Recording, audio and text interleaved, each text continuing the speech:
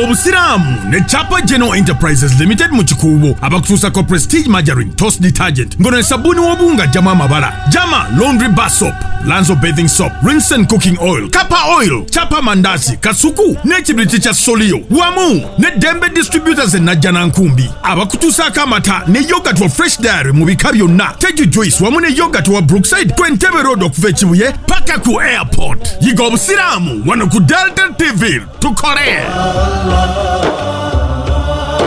mukyala wo manyi kyalidde oli mu kibuga olidde nti enyanja ojja mu kibuga n'osaba ekyennyanja n'osaba akawunga n'osaba omuceere n'osaba balugu n'osaba ebikajjo n'onywa ecupa ya soda n'onywa e- e- e- ekicupa ky'amazzi oba olyawo ne bayisawo obu- obu- obugundi bupaani n'olya naye mukyala wo alidde kinaabaana allah agenda kubuuza ku baana bo allah agenda kubuuza ku mukyala wo. Obulabirizi bwabwe buli mu mikono gyo.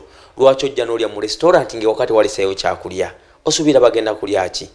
Baamu omanye nti nawasa omukyala nga nyina mulabirira omukazi talya kikomando.